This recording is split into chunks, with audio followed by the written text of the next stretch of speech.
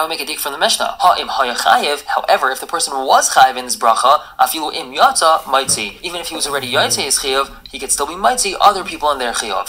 And as we said, this excludes Birchas Hamazon. And why is that? So Rav Laya, he explains, Shani hi Birchas Hamazon. Birchas Hamazon is different. The Chsivba says regarding benching, Ve'achalta v'savato ve'rachta Hashem And what do we learn from here? Misha achal hu yivarech. Specifically, the person that ate, he's the one that has to bench. Regarding other brachas, a person doesn't necessarily have to make that bracha. But benching, the pasuk says, Ve'achalta uve'rachta. So if you ate, you have to bench. And the Gemara Lam Zayin Bezan continues talking about this. Rabbi Yossi, Rabbi Yudim and Pazi, Hava they were sitting and discussing this. Amru, they said, Lemistabra, wouldn't it be logical to say Kriyashma regarding Kriyashma, hey call Echad ve'Echad Meshanim bepiv that hmm. every person would have to say Kriyashma on his own, and somebody who was already yet is Chiv of Shema would not be able to be mighty somebody. And why is that? Because the pasuk of Shema says Vishinantam. Vishinantam means you shall express it, you shall say it, and somebody else cannot be mighty you. And furthermore, let me start with tefillah hey call Echad ve'Echad mebakesh racham al atzmai. Wouldn't it be logical to say that by tefillah as well, by Shemona Esrei, that every single person on their own should be asking for rachmim for themselves, and they can't be Yotze, the Chiv of Shemona Esrei, by hearing it from somebody else. Now, those two statements are relevant to what we were discussing previously. Now, the next statement doesn't have any connection other than that it was said by Rabbi Yossi. Ma bein sukkah, ma bein lulav. What's a reason for the following difference between sukkah and lulav? That sukkah ina to bracha elo leili yantef harishan belvad. A person only has to make a bracha on the sukkah, leishev sukkah, the first night of yantef, and that's it. The rest of yantef, he doesn't have to make a leishev at all. And currently, this is the shita of the Yerushalmi, because obviously we know that that's not so. That's not how we act nowadays. Whereas lulav, ton bracha, kol shiva, a person has to make a bracha on lulav all seven days of Sukkot. Every single day, a person makes a separate bracha on their lulav. So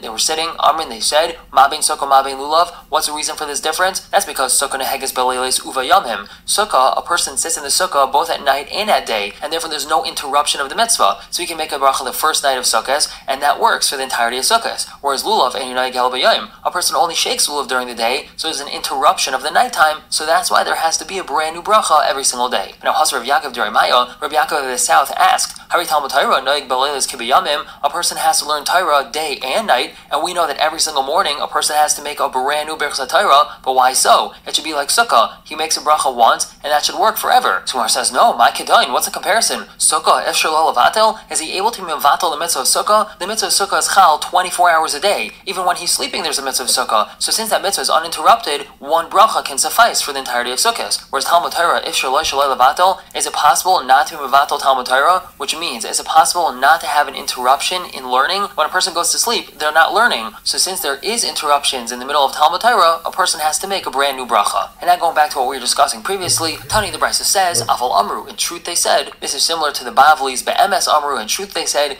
Isham Varechas Labaila, a woman could bench for her husband. She could be mighty her husband in his chiv of benching if he's not able to bench. Ve'evin Mavarch Rabbi, or an Evid is able to bench for his master if his master is unable to bench. Ve'katan La'aviv, and a katan is able to bench for his father. The Gemara pauses and asks, Loichein Amr Acha b'Shem Rabbi Yossi Breb Nairai? Did Rav Acha say the following? Kol Amru b'Katan. Everything they said regarding a katan, meaning all the mitzvahs they said that a katan does, that's only kedei l'chanchai to mechanechem in mitzvahs, but not that the katan himself has a chiyuv that he's able to be mighty other people in their chiyuv. So how could it be that a katan can bench for his father? So Gemara says Tifter ba'ayin achrein amen. This could be explained as talking about where the father answered amen after his son benched. So since the father said amen, it's as if he himself benched. And Lama Chesam Ralph on top, Taman. This is like what we learned over there. Mishaya Evra Ishai Katan Makron Isai. Someone has an Eved, a woman, or a Katan saying Hallel for him.